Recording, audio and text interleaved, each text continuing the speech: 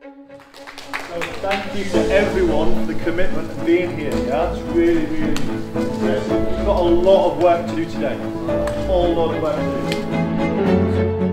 In the beginning, I was quite hesitant to audition, but like honestly, the experience was so great in the sense that like I genuinely made friends with like the students in the younger years, which I didn't think would happen. I think literally two weeks or even a week before the actual play, that's when everyone sort of decided to like become a family, sort of. We all became as one.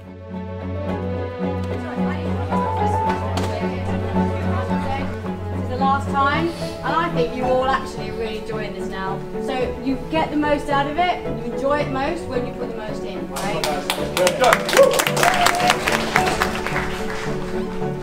In those final few weeks is really when everyone started like working together well. We were like, we gotta get these lines down.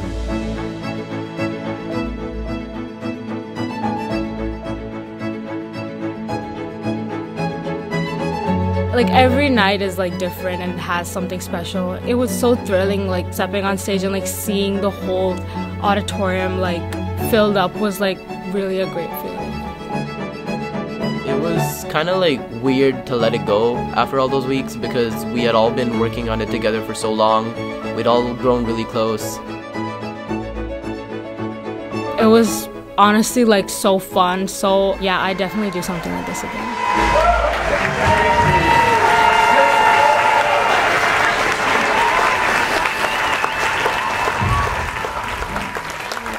Mm.